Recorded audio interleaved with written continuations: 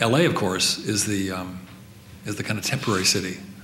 It's the city that um, changes more rapidly than you can even, you can even um, comprehend. Will, all of you, I'm sure, had the same. You show up to the nursery you've been going to for 20 years and it just disappeared. And, no one told you, and damn, it's just, things just appear and disappear, or you, you don't go to Pasadena for five years. And then you, you, you see a friend there five years later, and you, you can't even recognize it. There's right, the whole thing has changed so fast. Well, we're we live in a. I've been working on this for a while and in some books, and we live in a country. This is 17 and a half million people with over 100 languages, and it's um, it's the size of Holland. So Pasadena is Amsterdam, and Long Beach is Rotterdam, and Los Angeles is The Hague, or whatever you want, right? And it's twice the size of Austria. I was just in Austria with a friend of mine, and we, we got we always get in arguments in, in, in an academic setting, and um, and I have to remind him. I said, um, Wolf, uh, my city is is twice the size of your country. He's in Vienna. And your, your Vienna, by the way, is just over a million people. It's just a little village here. All right? it, it is literally Pasadena. And um, again, it goes back to we don't really quite grasp yet. This is a very new phenomenon. Of course, in this guy's country, in China, it's we're talking now another everything ramp it up times ten, right? And um, but this is a this is a um, actually last quarter of the 20th century phenomena, which really um, we haven't got our arms around yet. Kind of really the meaning of this type of urbanization at this type of scale. And it, it affects us in our daily lives. It affects the fact that I have a hard time even moving to this part of town at this point in my life that it becomes an hour and a half and it's no longer accessible. So that living in within this um, LA from east to west is about 75 miles, um, it changes the rules of even the definition of city. Because most people think of city as an inside and an outside, a country and an urban, right? This very simple kind of doesn't work anymore.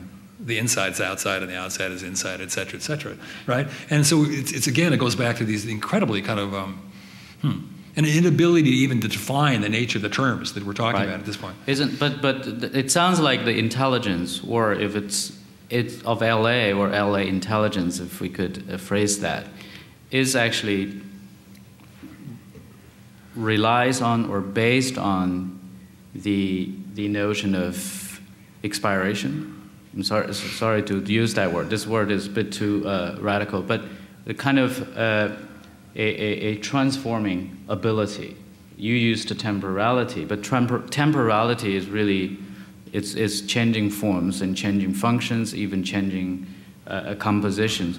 So that, that, that may be, because I've seen some photos that uh, uh, from, uh, I couldn't even name a, pos- a position like green and um, uh, some old monuments and when I look at uh, photos taking 30s and then 50s and uh, outside the window, things changed. Every it's completely changed. And I was told somewhere south uh, of the city, and it's changed three rounds and four rounds of uh, uh, architecture.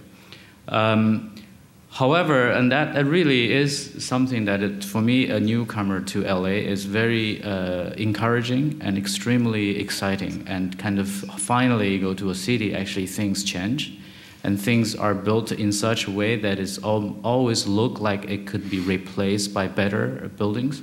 So it's always that, it's always that kind of a, a hope that things can be replaced, and even it's not a criminal to even wishing that to be placed, right? Because it's really so that kind of quality is very hard actually if you go to you know New York, Shanghai, uh, and Milan and Paris.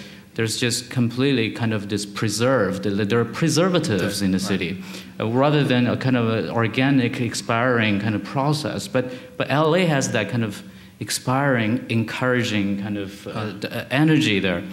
Um, but if it is essence of this, the kind of intelligence, LA intelligence, have we actually really, really looked at them and starts to impl- implement it into a planning process where planning is not planned for the longest lifespan ever and hope that it reaches the natural or biological life cycle, rather than intelligently planned its life cycle. So that the, the, the beautiful thing about life cycle and lifespan that that offset is actually the the possibility, the space of change, the space for future, and that that that kind of offset is, is a hope for the future. And somehow, if, the, if planning is a process, not only plan for permanence, but actually plan for expire, expire, ex, plan for expiration, maybe we can actually all of a sudden revolutionize the technology and even kind of the way we teach.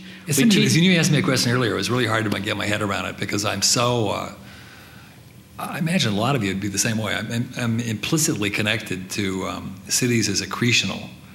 They grow and they build, and I've never really never thought about the, the expiration as you as you as you talk about it. But it, and of course, it's um, they're they're like biological systems there's um, cells in our body that reproduce themselves every three hours, the certain bacteria in your stomach, et cetera. And it's, right. it's, a, it's only a 200 natural, some days, the whole process. body changes. And of course, LA is maybe so second nature because we, we build temporarily, really. A, a, a type five, a, a, stick building is a temporary building. So we understand that. And, and we're at a point now where we've, we've seen first growth.